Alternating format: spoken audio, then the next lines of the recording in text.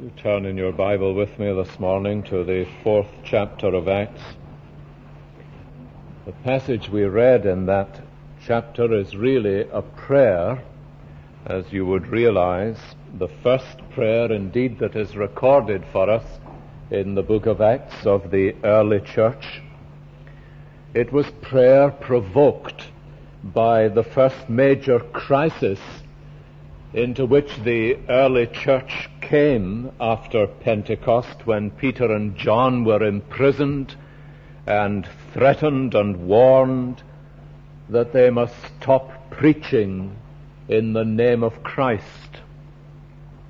And then verse 23 we read when they were released, they went to their friends and reported what the chief priests and elders had said to them.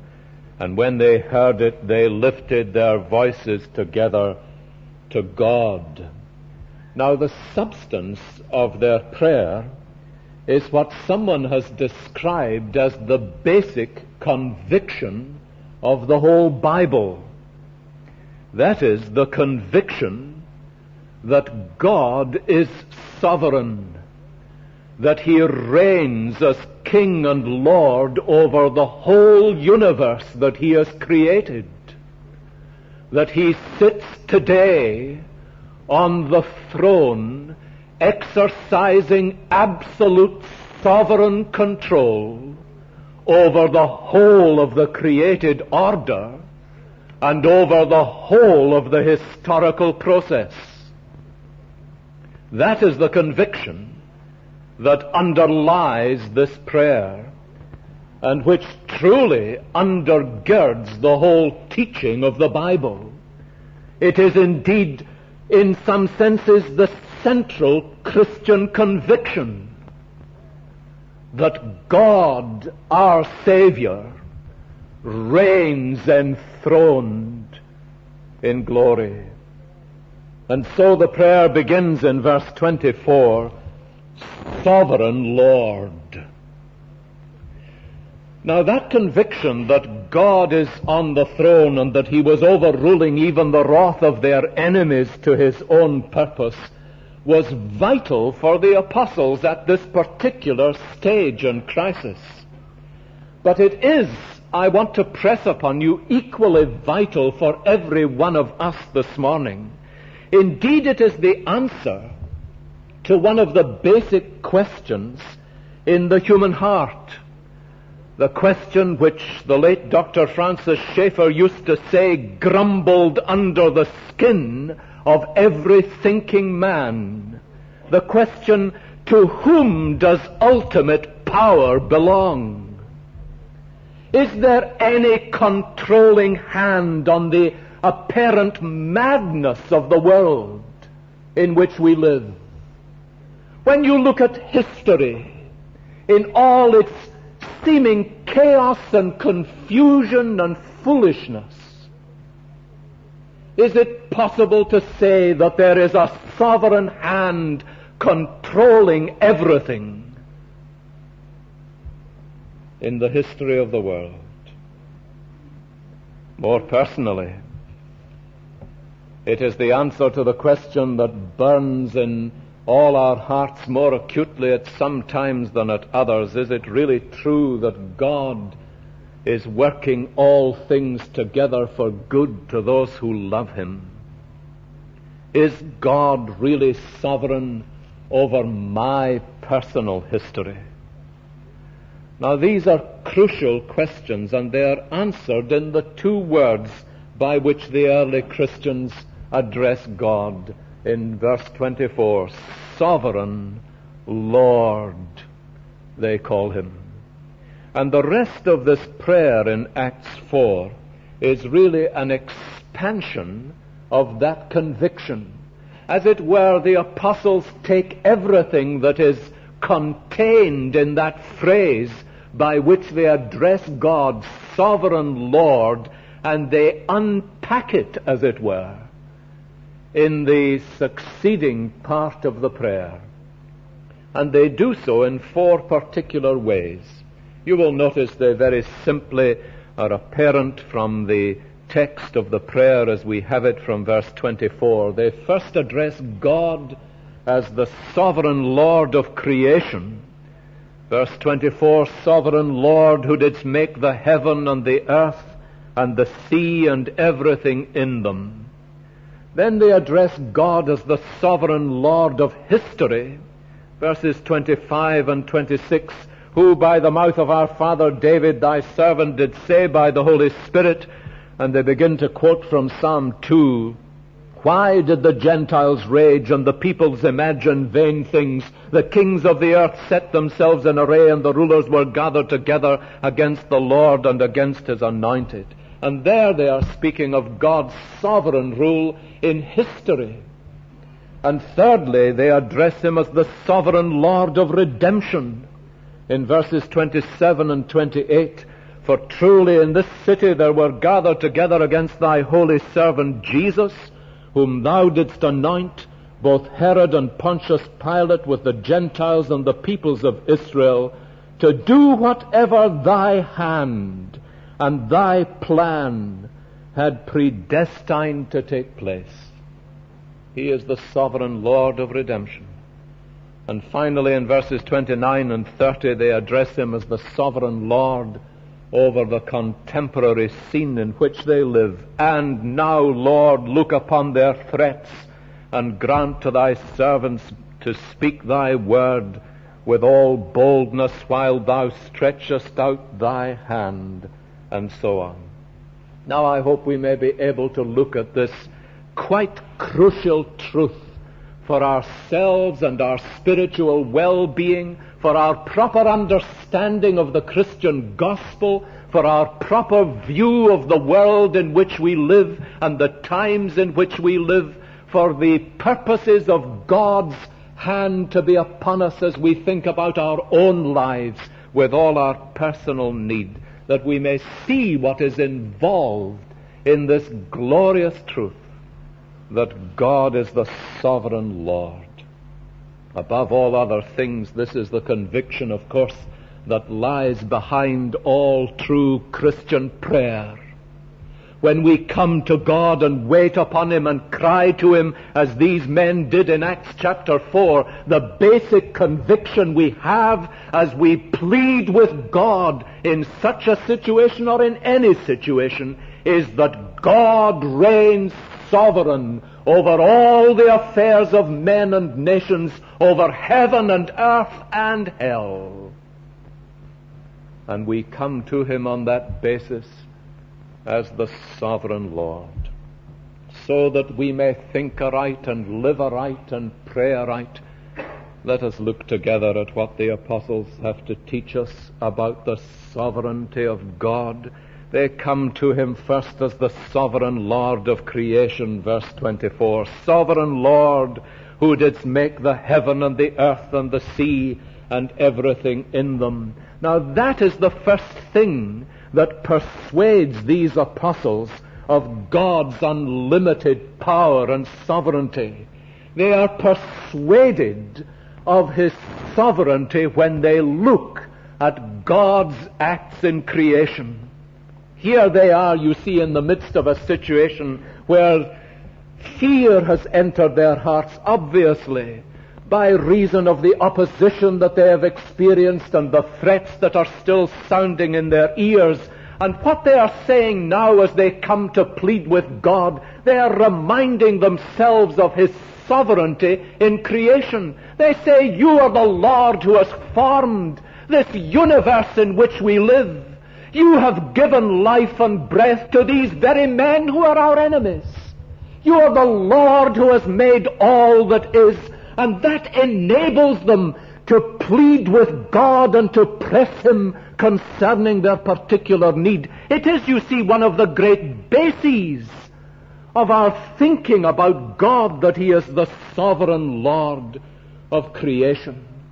If you have power to create the heavens of, and the earth as your sovereign act, then they are able to go on and say, look upon us in our present situation.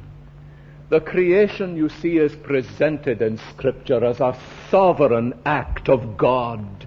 He speaks as a kingly creator and brings into being out of nothing all that is made. And that is why the doctrine of creation is so vital for us in our understanding of God, in our thinking about the world, in our thinking about prayer.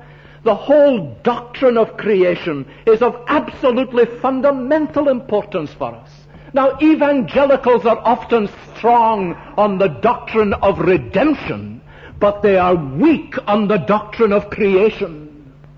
And I am sure it is partly for that reason that we have an inadequate view of God and an inadequate understanding of His power and glory. I wonder if you have noticed that again and again this is the argument that men of God in Scripture use as they come into God's presence to plead with Him. Again and again, what they are doing, for example, Jeremiah, in Jeremiah 32, they come to God and plead with Him as the God who is first sovereign in creation. Jeremiah cries, after I had given the deed of purchase to Baruch the son of Neriah, I prayed to the Lord, saying, Ah, Lord God, it is thou who hast made the heavens and the earth by thy great power and thine outstretched arm. Nothing is too hard for thee.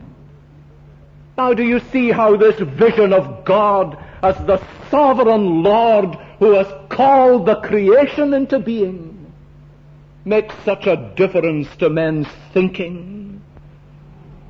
But it is not only used by men as an argument as they plead with God.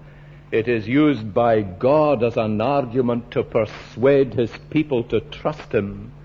Do you remember how in Isaiah's prophecy, God comes to His people wilting in the midst of all the difficulties and tribulations through which they had passed, and He says to them, lift up your eyes on high and see. Now what is it that they are to see? What vision is it that Isaiah longs that they might have? It is the vision of God as the sovereign creator. Lift up your eyes on high and see he who created these things, he who brings out their host by number, calling them all by name. Why do you say, O Jacob, and speak, O Israel, my way is hid from the Lord, and my right is disregarded from my God? Have you not he- known? Have you not heard that the Lord is the everlasting God, the creator of the ends of the earth? Now do you see what God is doing? He is using the doctrine of creation and His sovereignty in creation to persuade his people to trust him. Now here is what the apostles are doing as they come into God's presence, and you will see how immensely relevant all this is to the mood of so many Christian people today. People who are secretly despondent, cowed, and in a sense always on the defensive and what we so greatly need in our generation, my dear friends, is the opening of our eyes to the great glory and majesty of God as the Creator. I tell you, during these days when we were on holiday in the Lake District and standing in places looking out over the vast area of these majestic hills in the north of England and say what you like about the highlands of Scotland, there are some majestic and glorious places in Lakeland. And I found my soul being exalted. God means us to do that to find our hearts lifted up with a sense of the sheer majesty of God who by His Word has called all this into being. And I tell you when I think that the kingly Lord who created that infinite beauty is the same God who is setting about the purpose of recreating me in Christ, my heart was lifted up to Him in great encouragement.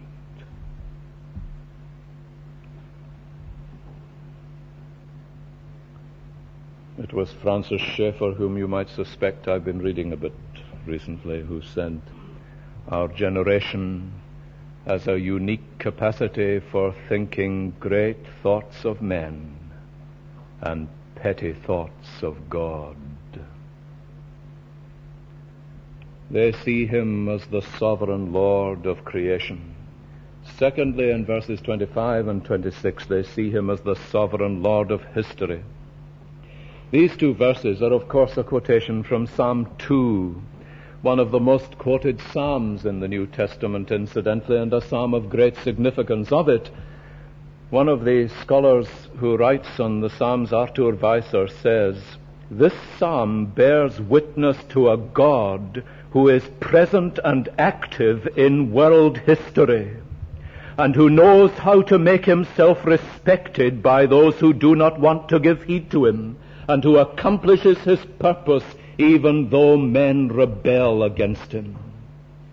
Now, the immediate picture of the psalm is, of course, of the accession and anointing of a new king, a king whom God has chosen, most probably David himself, and the rebellion of kings and rulers of the earth against that earthly king. And that rebellion the psalmist sees as a rebellion against the Lord and against his anointed. Now the apostles recollect this psalm in their crisis.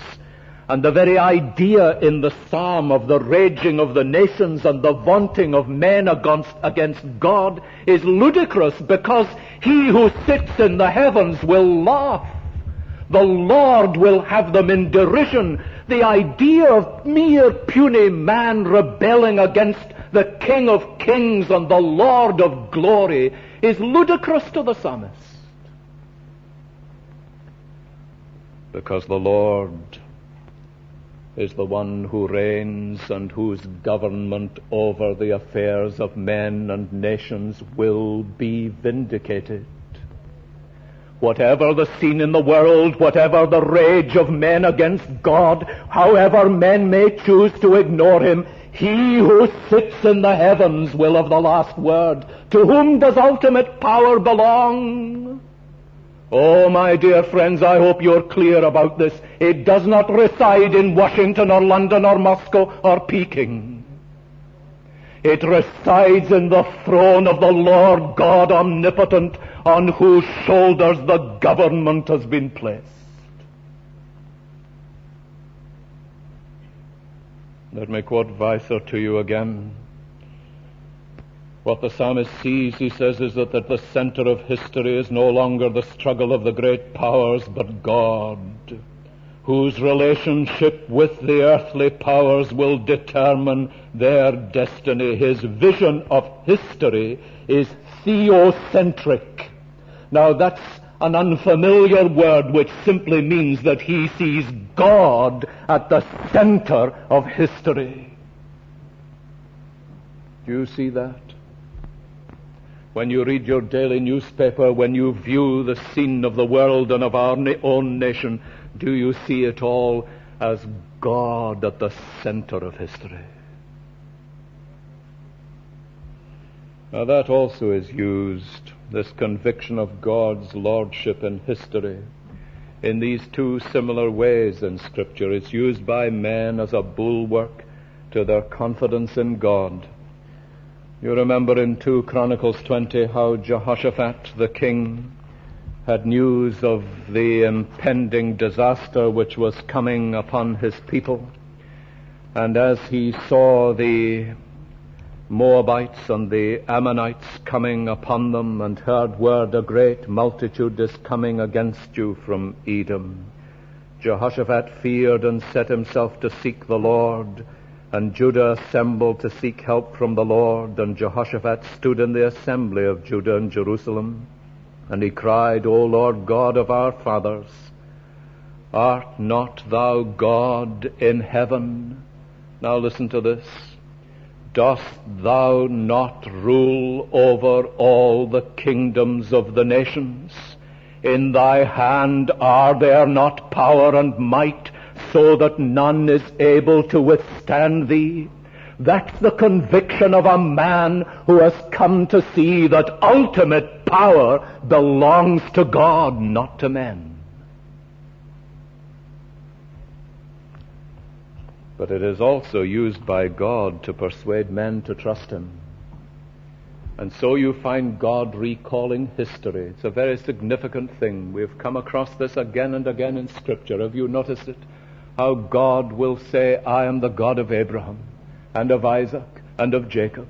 I am the God who brought your fathers up out of the Red Sea and into the land of promise. And he goes on to recount to them how he has ordered circumstances, knocked aside his enemies, cast down men who rebel against them, opened a way for his people. What is he doing? He's not merely giving them a history lesson in order that they might be historical scholars. He is giving them a lesson in God's sovereignty in history. And therefore he appeals to them that now they will trust and obey him in this situation.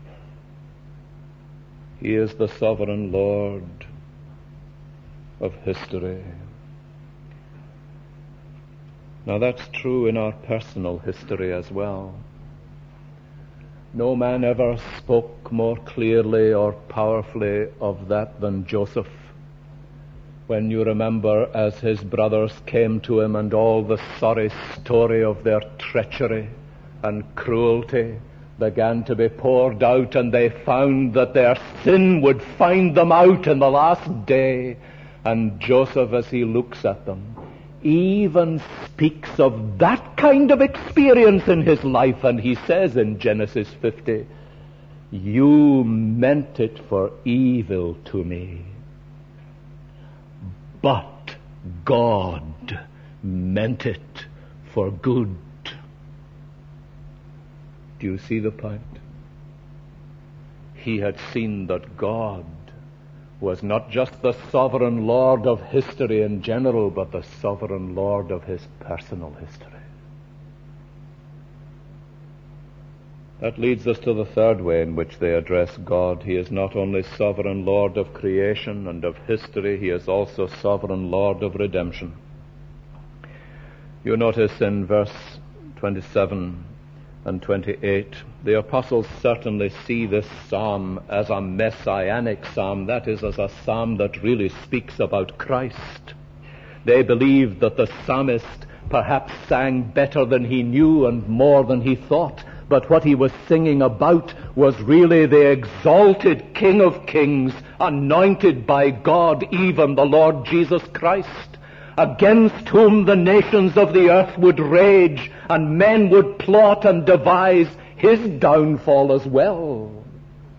And so they move from history in general to the history of redemption in particular.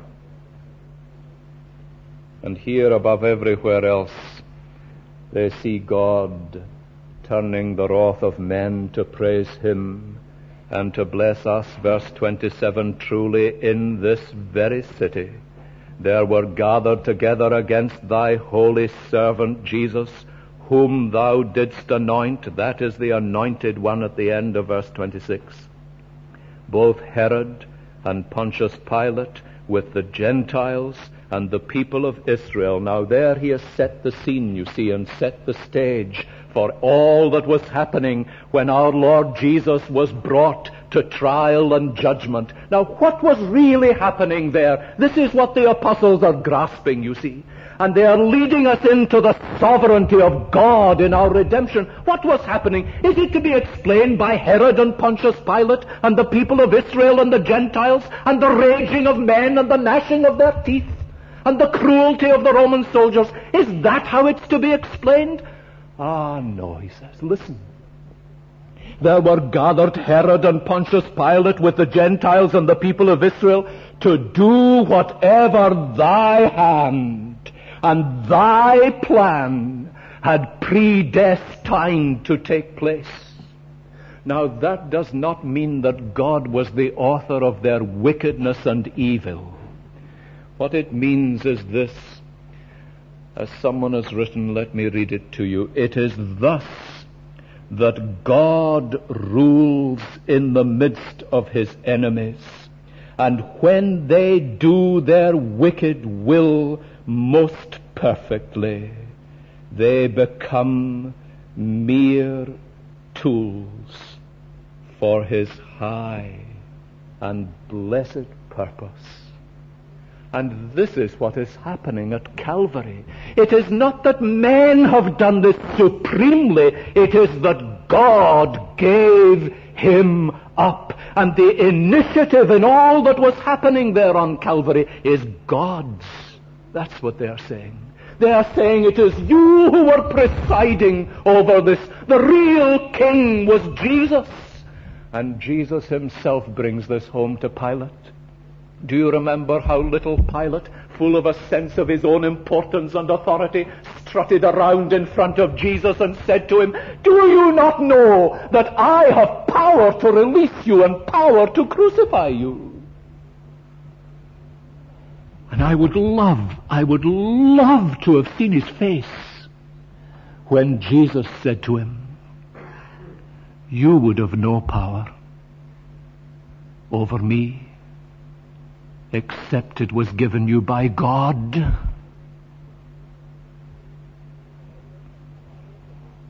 And Pilate and Herod and the people of Israel and the Gentiles and the Roman soldiers, they were the instrument of God's infinite grace in the glorious plan of redemption. But my dear friends, it encompassed some of the darkest hours of human history. And I guess what these apostles are saying is this. If out of that infinite darkness God could bring our full salvation, what might he not bring out of this hour?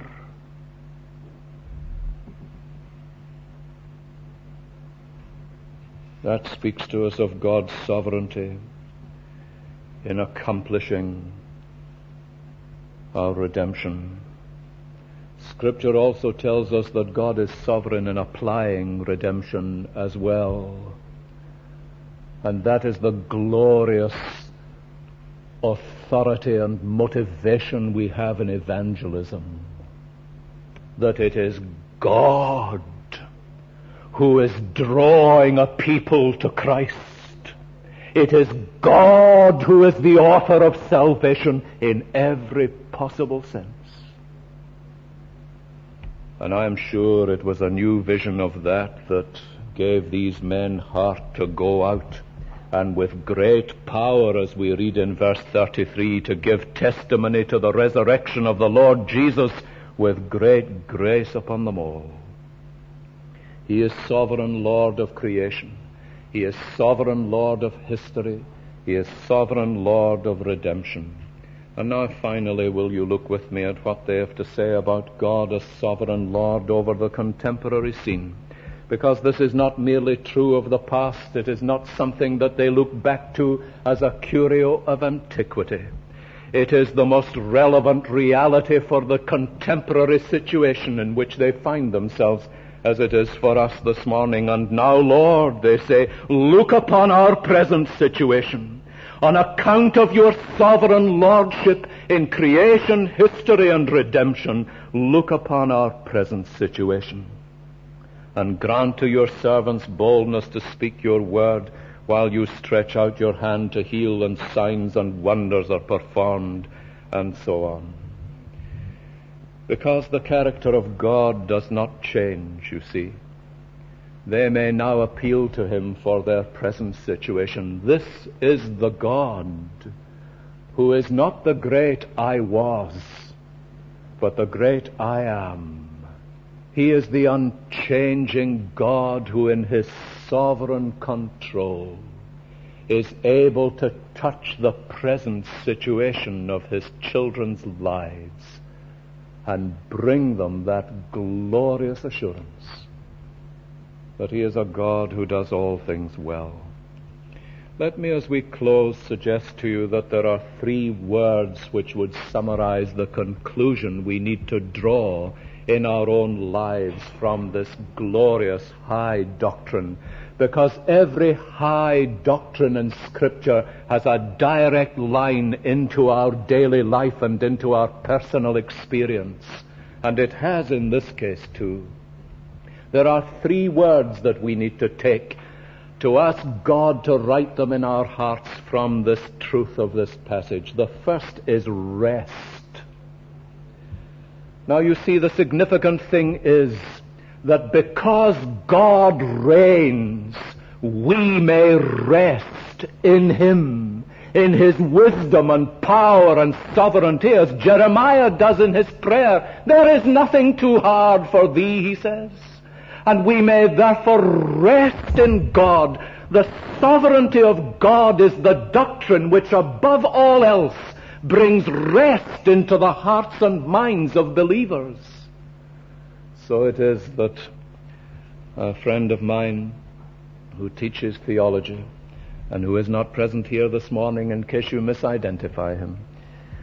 A friend of mine who teaches theology said to me on one occasion when he was uh, chiding me about uh, days off, which uh, not a few distinguished preachers do.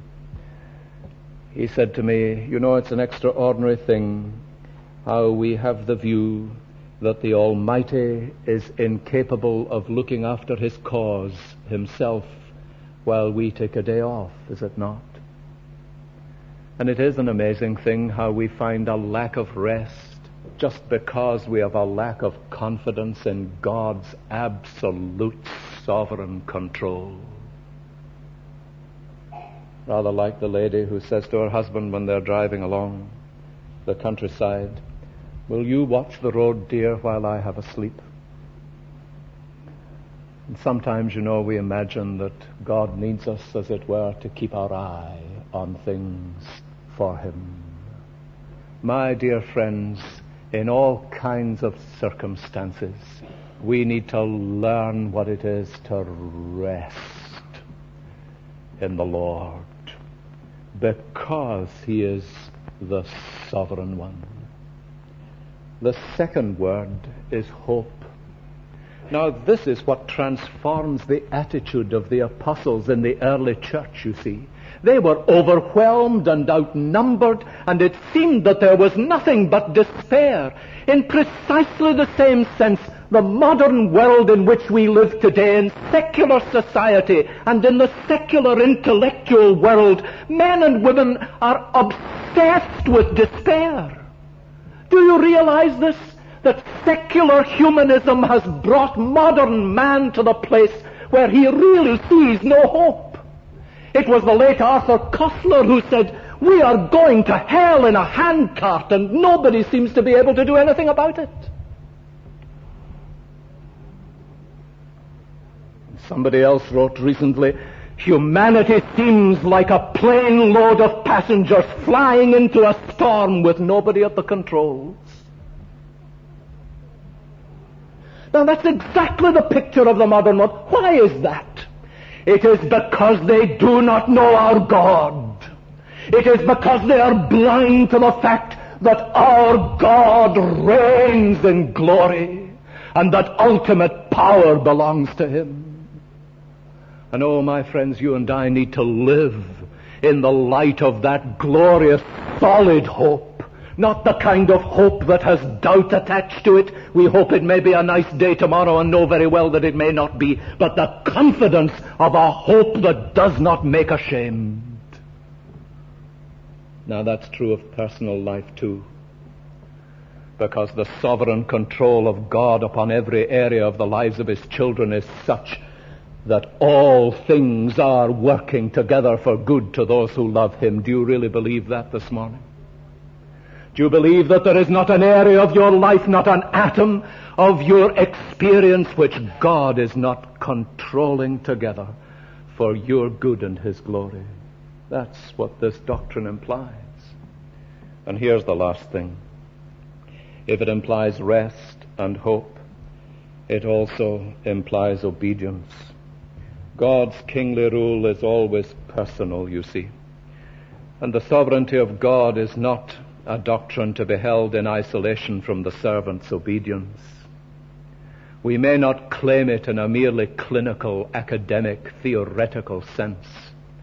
The primary claim of this doctrine is upon the glad bowing of every area of our life before Him as King and Lord.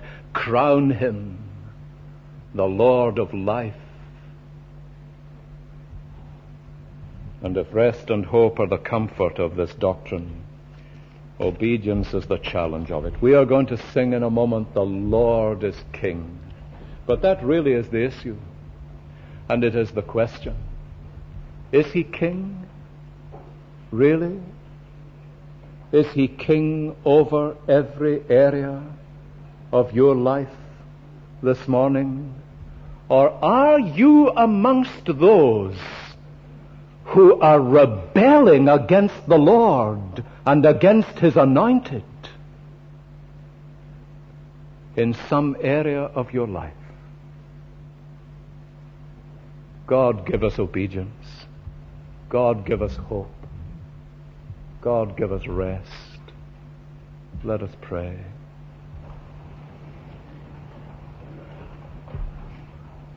Father, we bless you that you are the King of kings, exalted in your sovereign majesty high above all. But oh, we pray this morning that we may gladly crown you Lord of all. We ask it through Christ our Redeemer. Amen.